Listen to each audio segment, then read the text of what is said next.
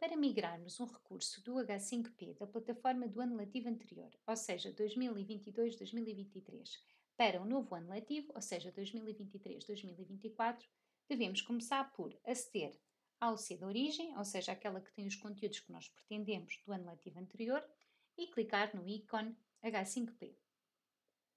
De seguida, devemos clicar em Reutilizar no final da página e depois em Download. Caso vocês verifiquem que o vosso conteúdo H5P não tem essa opção, devem ativar o modo edição, clicar sobre Editar, Editar configurações e no campo Mostrar opções verificar se elas estão ativas. Se elas não estiverem ativas, esse botão não vai aparecer. Depois de descarregarem então o vosso recurso H5P, devem aceder diretamente à unidade curricular deste ano letivo, ou seja, para onde pretendem importar os vossos conteúdos, e depois, no menu principal da unidade curricular, clicar em Mais e de seguida em Banco de Conteúdos.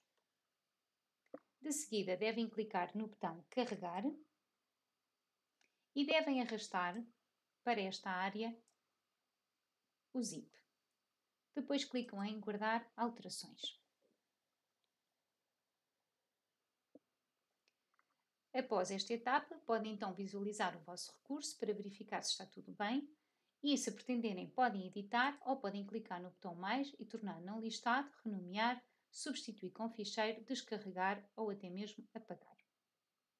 Para adicionarmos o recurso H5P à nossa unidade curricular, devemos clicar em Unidade Curricular, ativar o modo edição no canto superior direito e, de seguida, clicar em Adicionar uma atividade ao recurso selecionar a opção Atividades e de seguida selecionar a opção H5P. Devemos dar um título ao nosso, ao nosso conteúdo.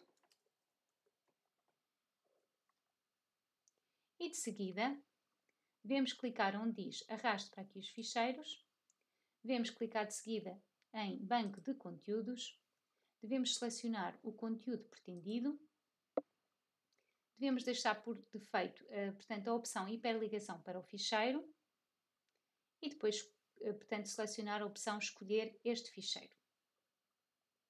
No final, façam guardar alteração, alterações e mostrar.